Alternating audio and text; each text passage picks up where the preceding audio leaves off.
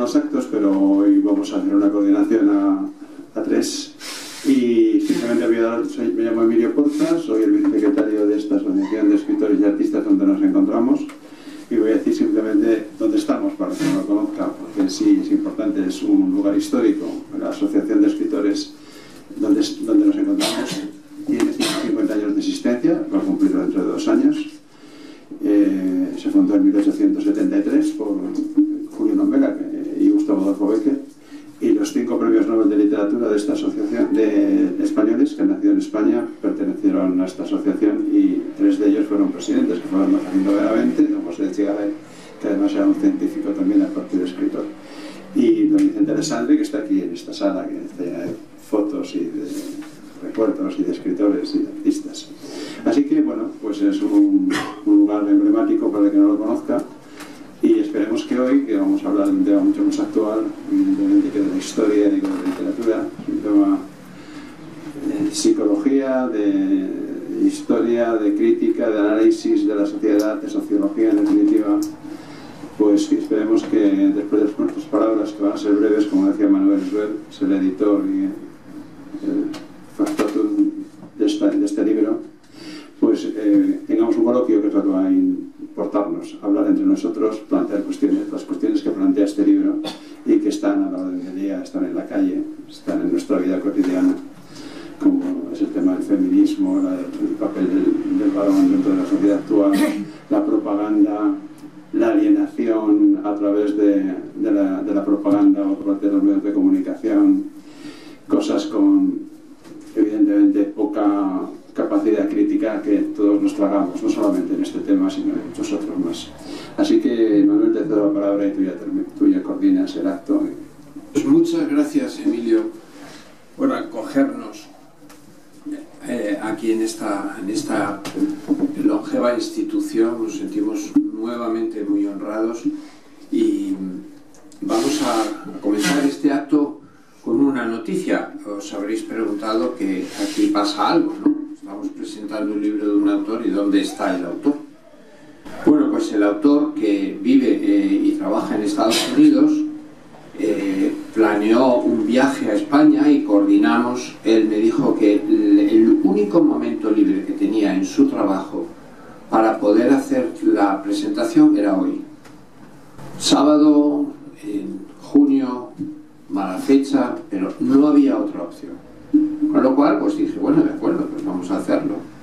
Entonces eh, lanzamos los anuncios, hemos hecho todos los preparativos y a unos días, estando él ya aquí, yo ya me encontré con él, nos hemos reunido, le he saludado y tal. Eh, a unos días, él ha estado viajando por España en viajes de trabajo, a unos días de tener que ya llegar, me dijo, por orden de la superioridad, me meten en un avión y me devuelven a Estados Unidos.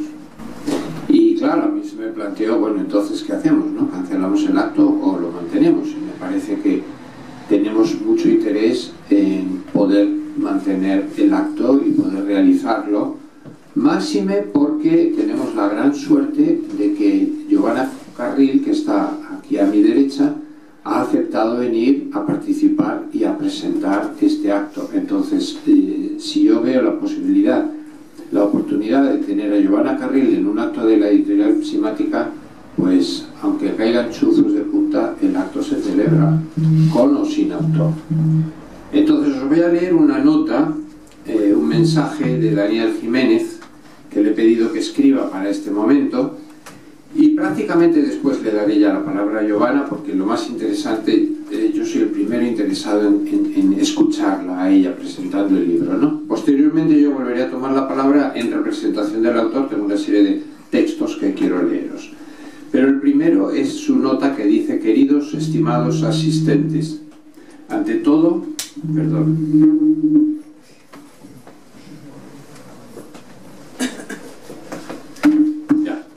Ante todo, gracias por estar aquí, especialmente un sábado con todo lo que ofrece la bella ciudad de Madrid. Podrían haber resuelto ustedes hacer infinidad de cosas, pero decidieron que esta conversación era más importante. Por ello, de nuevo, gracias. También quería expresarle mi gratitud a nuestra anfitriona, la Asociación Española de Artistas y Escritores, aquí representada por don Emilio Porta, por habernos proporcionado este magnífico espacio.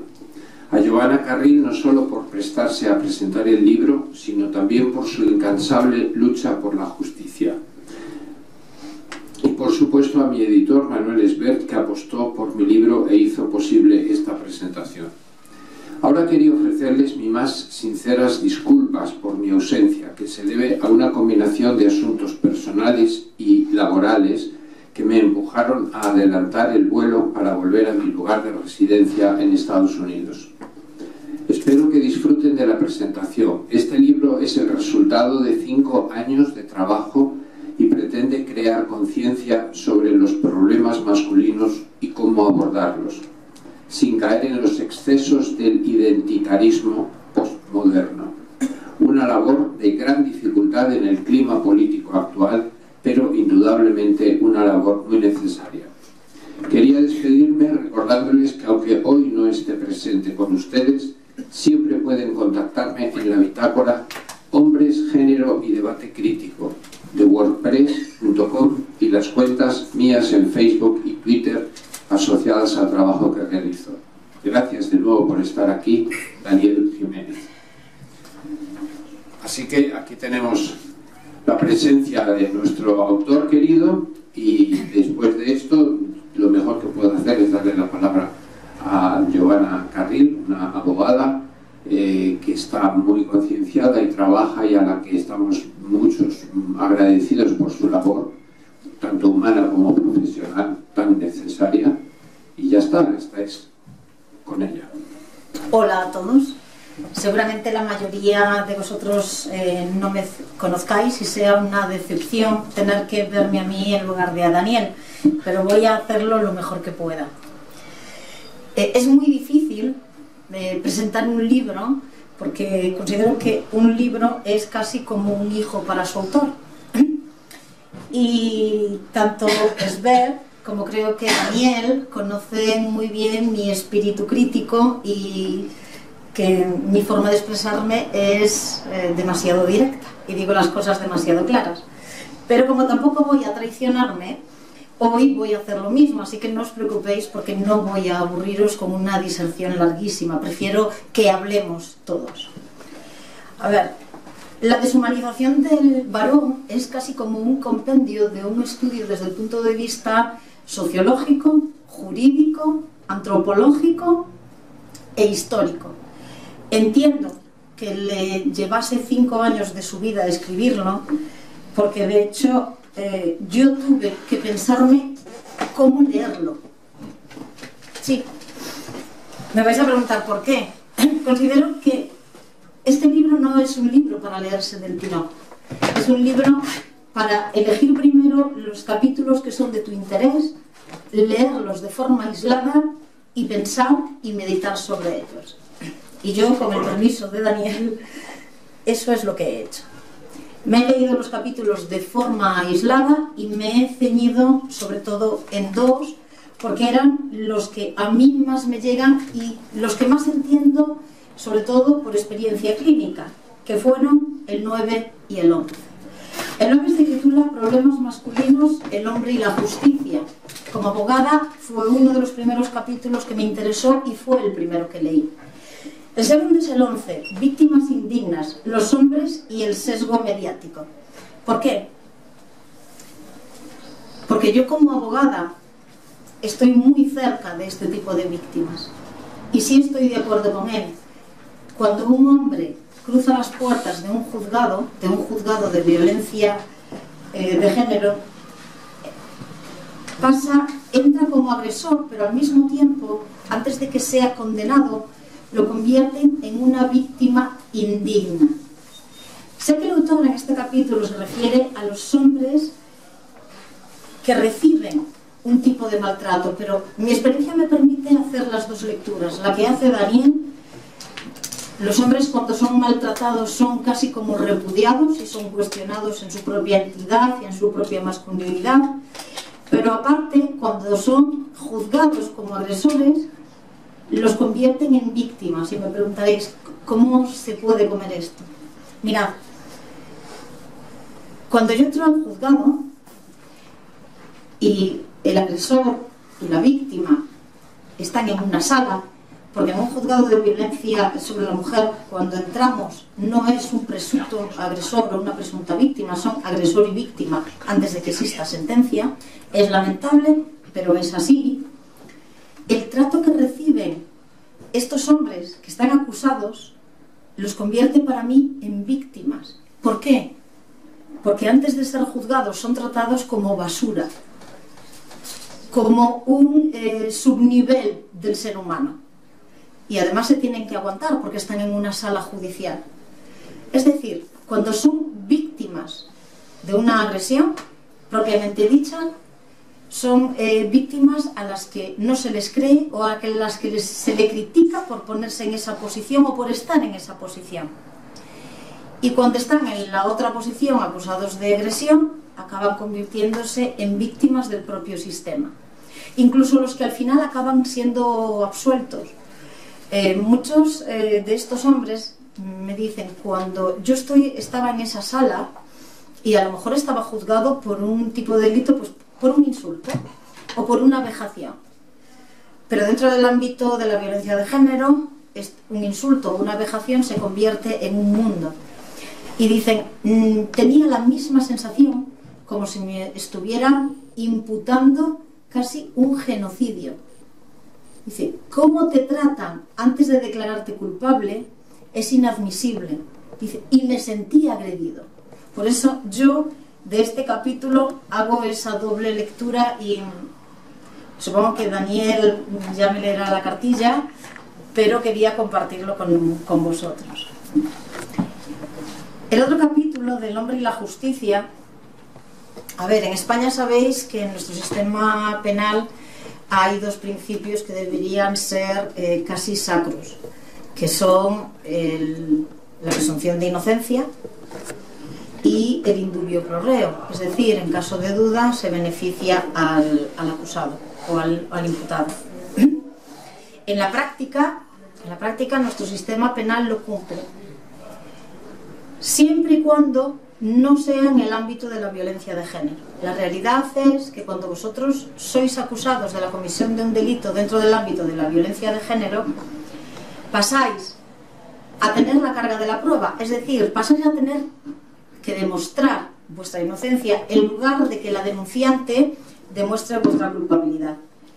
Puede parecer que esto no tiene ningún tipo de importancia, pero esto no es más que cómo se ha institucionalizado la desigualdad entre hombres y mujeres y en qué situación han quedado los varones con respecto. Esto es muy peligroso porque no hace más que marcar una desigualdad entre hombres y mujeres y abrir una brecha social que en la práctica real no existe como tal. ¿Cuál es el problema?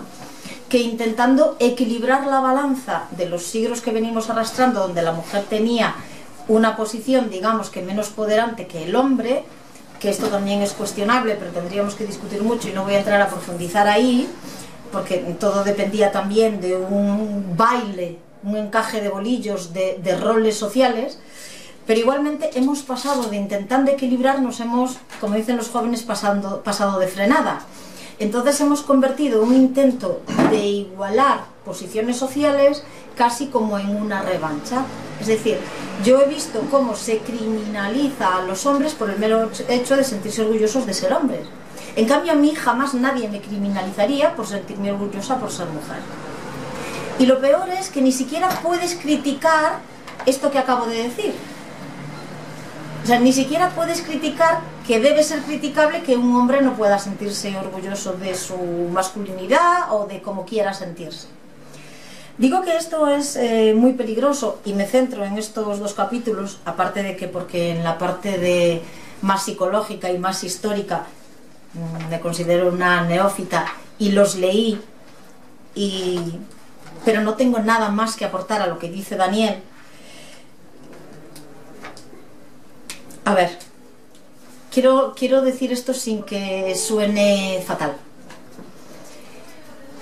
me disgusta muchísimo vivir en una sociedad en la que la mitad de la población tiene que disculparse de ser lo que es. me disgusta mucho y no quiero participar. Eso que yo estaría en el lado ahora mismo privilegiado. Porque las mujeres ahora mismo tenemos una posición de privilegio a raíz, digamos que, de rentabilizar una situación de victimización que muchas veces no es real. Por eso eh, he decidido y he aceptado la invitación que me hicieron de presentar este libro. De presentar este libro. ¿Por qué?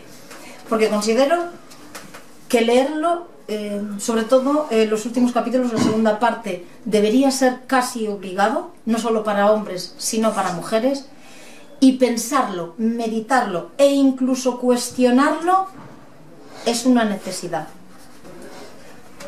Por eso eh, me encantaría, eh, voy a terminar ya de hablar, no quiero ser pesada, y por eso me encantaría poder dialogar con vosotros sobre esto, tanto si lo habéis leído como si no, porque de hecho sobrepasa, el tema sobrepasa las páginas del libro. Y no puedo mm, terminar sin felicitar a Manuel y agradecer el que haya dedicado cinco años de su vida a instruirnos y a darnos pie a poder cuestionarnos.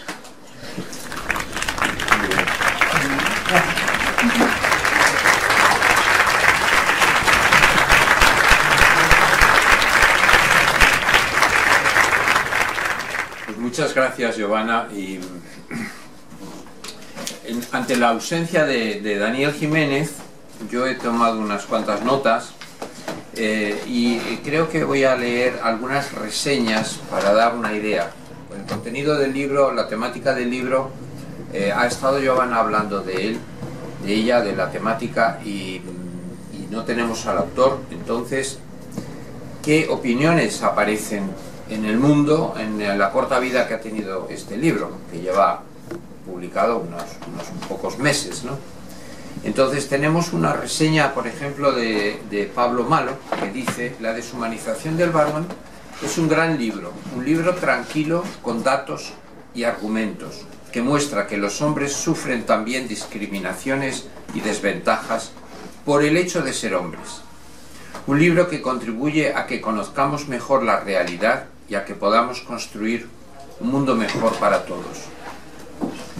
Otra reseña, esta es de José Luis Sariego, abogado que también participa en el libro con un prólogo.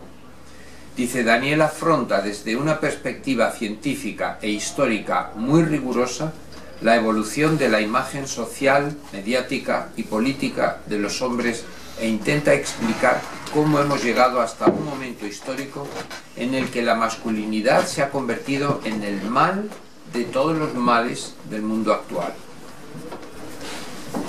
Otra reseña es de Adam Jones, que es el autor del otro prólogo, es un experto norteamericano, que dice, no hemos tenido hasta ahora una réplica tan elocuente, históricamente matizada y con un rango temático tan amplio como encontramos en la deshumanización del varón. La revisión de Jiménez del concepto de patriarcado es profunda y equilibrada, y su relevancia para los debates contemporáneos y las políticas sociales es considerable. Y luego he dicho, bueno, este libro está en Amazon y Amazon es no solamente una tienda de libros, sino que también hay gente que opina y tiene- presenta comentarios sobre las obras que están en Amazon. Entonces digo, voy a ver que, que, ah, si hay comentarios. Y hay comentarios, efectivamente. Por ejemplo, Ángel, un tal Ángel, dice, es el mejor estudio sobre la situación del varón a lo largo de la historia, sus problemas y los sacrificios que se da por sentado que como hombre y por el mero hecho de serlo, ha de asumir. En el mundo de hoy, en el que el feminismo es la ideología oficial eh, del régimen, si buscas la verdad no puedes quedarte sin leer este libro. Si la humanidad sigue siendo libre dentro de un siglo, este libro será reconocido como una de las obras que sostuvo la barricada de la libertad con la palabra y los datos frente al totalitarismo y la propaganda. Otro comentario es de Roberto García Fresnillo, que dice, apabullante, libros, libro con datos rigurosos y exhaustivos que desmonta toda la ideología oficial del régimen. Javier Villar, por su parte, dice una joya que ilustra de forma extraordinaria la verdadera complejidad de las relaciones entre hombres y mujeres a lo largo de la historia. Alejandro dice, un libro valiente y muy bien documentado. Si la historia la escriben los vencedores, ¿por qué nunca se oyen los argumentos, datos y hechos que en este libro se mencionan en los medios de comunicación controlados por el patriarcado? ¿Por qué se silencia lo que el sentido común evidencia? Dos cosas destacaría de este libro que ya tuve la oportunidad de leer eh, siendo patrocinador del trabajo de Daniel. El riguroso trabajo de investigación y exhaustiva bibliografía aportada en pos de la argumentación razonada y profunda y la moderación en el discurso, evitando la confrontación entre las personas.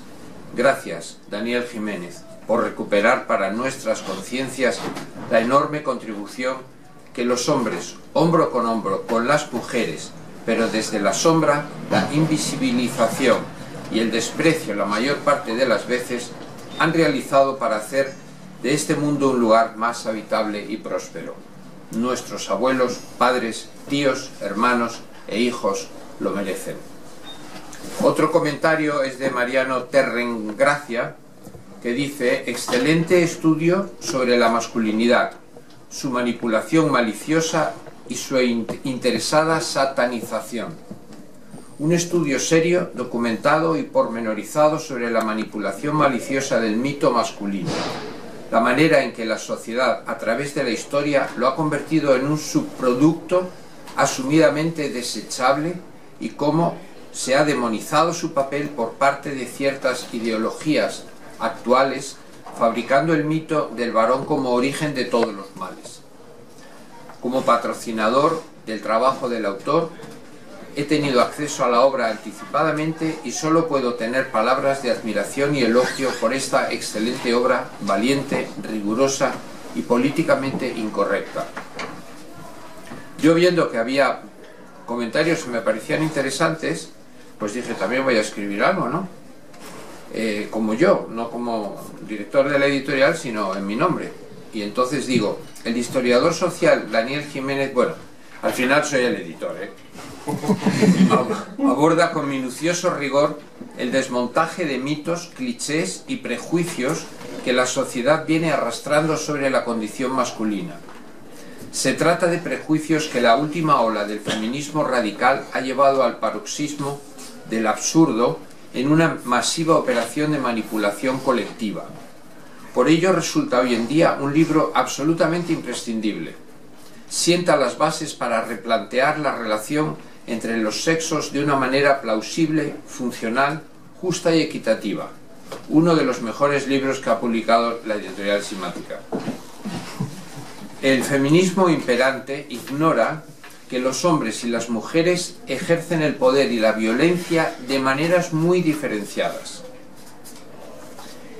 Solamente consideran las formas masculinas de ejercer el poder y la violencia, negando la existencia de las modalidades femeninas de violencia, que son más sutiles, implícitas e indirectas, y precisamente por ello resultan sumamente efectivas. Así, el feminismo actualmente imperante ha ignorado otro ámbito importante, además de los ámbitos económico, social y político, que son los únicos que menciona, como es el ámbito doméstico, en el que a lo largo de los siglos la mujer ha ejercido un poder evidente y prioritario, si bien no explícito como el poder masculino en los ámbitos públicos que acabo de mencionar. Estos sesgos en la descripción de las relaciones entre los sexos generan la visión distorsionada de que solo los varones ejercen poder y son violentos, y solo las mujeres están sometidas y son víctimas. Nada más lejos de la realidad. Bueno, yo no me quiero extender, porque lo que creo que es más interesante es que hablemos. Y quería anunciaros esto porque eh, le he pedido a Robert y le he pedido a Mario Aguiló, que es la otra pata del proyecto, ahora os hablo de Mario, que eh, escribiera una breve nota para leerla hoy aquí. Porque está el libro suyo muy en combinación con este que hoy estamos hablando. digamos que es la misma temática desde ópticas distintas. ¿no? Entonces dice eh, Robert Whitley, él habla en tercera persona, dice, el doctor Rob Whitley escribirá un libro sobre la salud mental masculina durante su año sabático 2019-2020. El libro explorará las temáticas de salud mental masculina que presentan una elevada incidencia, incluyendo el suicidio, los trastornos de abuso de sustancias, la escasa atención institucional a la salud mental masculina. También tratará sobre los factores sociales que determinan e inciden en la salud mental masculina actual. Factores familiares, laborales, educacionales, relacionados con la justicia y la demonización social generalizada que se está produciendo en amplios sectores de la sociedad sobre el concepto de lo masculino. La masculinidad será contemplada como un valor positivo, evitando la actual concepción de masculinidad tóxica. El libro concluirá haciendo recomendaciones eh, de reformas sociales, legales y sanitarias que contribuyan a mejorar la salud mental masculina. Y os decía que eh, también hay un tercer elemento en este proyecto, que es eh, Mario Aguiló. El doctor Mario Aguiló eh, vive en Barcelona y estuvo también presente en las jornadas del, Euromind, del Parlamento Europeo, eh, y yo le pedí que si, era, eh, si le interesaba formar parte del proyecto y dirigirlo. Entonces él dirige el proyecto, se relaciona con Rob Whitley y va a ser el traductor. Y me manda también una nota y es un poco larga y creo que no la voy a leer entera, pero dice, como un dato, ¿no? Dice, en el plan de prevención del suicidio realizado por la Comunidad Valenciana en, mm, en 2017, se excluye de los grupos de riesgo aquel colectivo que más índice de suicidios presenta. Estadísticamente, una cifra en torno al 75% son llevados a cabo por varones. Este plan sociosanitario fue auspiciado y realizado bajo la máxima autoridad política sanitaria por parte de quien al cabo de unos meses sería nombrada ministra, Carmen Montón. O sea que, ¿qué hace el mundo oficial en España? Ante una temática tan grave como es el suicidio, con índices que triplican o más, cuatro veces, eh, suicidios masculinos sobre suicidios eh, femeninos, cuando montan un plan de prevención, dejan fuera a los hombres. O sea que los ciudadanos de segunda Está claro que somos los hombres ¿no? en, esta, en esta sociedad. Sigue Mario Aguilo. Por otra parte, en algunos protocolos sorprendentes de la llamada violencia de género, aquella que supuesta y falazmente se lleva a cabo de forma unidireccional de hombre heterosexual a su pareja mujer, se considera como factor de violencia psicológica el aviso de intención de tentativa de suicidio por parte de un varón a su expareja. Este hombre, en lugar de ser ayudado en su solicitud de auxilio, si menciona que, está decidiendo suicidarse, pues es criminalizado. Primero policialmente y con posterioridad y con gran probabilidad por la judicatura. Valgan con carácter introductorio los dos ejemplos anteriores como síntoma de que algo no está funcionando bien en estos entornos públicos y que es preciso estudiar muy seriamente las causas de la falta de atención a este colectivo que conforma cuantitativamente la mitad de la población en nuestra sociedad. La denigración y demonización pública de los varones por el mero hecho de serlo, un hecho que es genético, aleatorio y por tanto independiente de la voluntad de cada persona, y en definitiva la culpabilización de un determinado grupo social de género, es síntoma de un malestar social que suele tomar forma siempre en algún tipo de chivo expiatorio de todos los males de la sociedad y es también un reflejo de la falta de cohesión social, de la erosión de los valores humanos integradores, inclusivos y comúnmente aceptados de esa sociedad y la disrupción, entre otros, de los sistemas de bienestar social. La deshumanización del varón es síntoma de una nueva patología y descomposición social, la creación de una tendencia de aversión, sospecha y demonización sobre lo masculino, a la vez que un ensalzamiento y un victimismo a toda hora y en todo lugar de lo femenino. Cuando ambos géneros, que son complementarios y por lo tanto sinérgicos y mutuamente enriquecibles, son igual de importantes para la existencia y para el mantenimiento de un saludable Estado social y democrático de derecho. Esta deshumanización del varón percute sobre él como un individuo, sumándose como factor de riesgo en la contribución al eventual deterioro de su salud mental.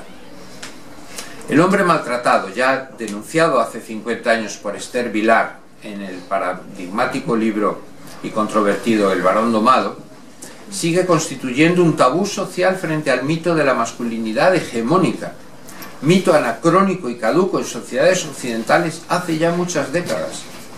El negacionismo de la vulnerabilidad masculina constituye, además de una estigmatización y maltrato social, todo un bucle machista, en tanto que de forma implícita reafirma y sigue reivindicando y reconstruyendo el estereotipo de hombre duro, selvático, de conducta animal y sentimientos primarios.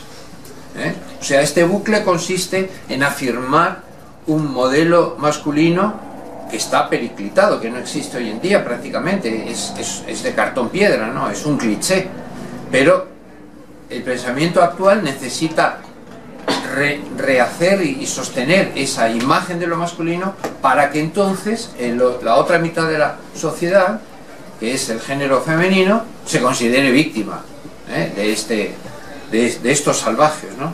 que somos todos los hombres aquí presentes, casi todos somos unos maltratadores en potencia. Un estereotipo instrumentalizado y llevado interesadamente hasta el paroxismo político de la izquierda de este país a términos de indigente moral bajo la creación ad hoc de una etiqueta estigmatizadora, el varón como presunto maltratador potencial del sexo opuesto.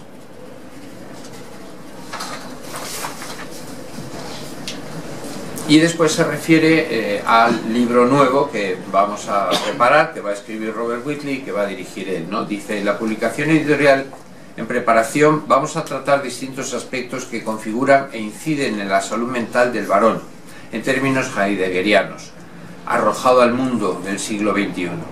Unos tiempos líquidos en cambios tecnológicos y económicos vertiginosos como en ninguna otra etapa anterior de la historia, que presionan sobre las estructuras sociales y por ende sobre el individuo y su circunstancia.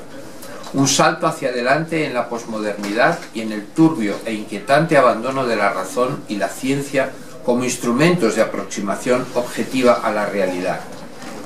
Un salto hacia el relativismo y la subjetividad y al refugio del individuo en las adversidades políticas de identidades que lejos de unir enfrentan a grupos sociales y distintas formas de pensamiento y cosmovisiones personales sobre la existencia. En este libro que estamos preparando se van a tratar aspectos relevantes para la vida de un varón del siglo XXI, con exploración de determinantes sociales de su salud, incluidos factores relacionados con problemas familiares, ocupacionales, educativos, legales y la demonización mediante distorsiones de la representación y la imagen social masculina.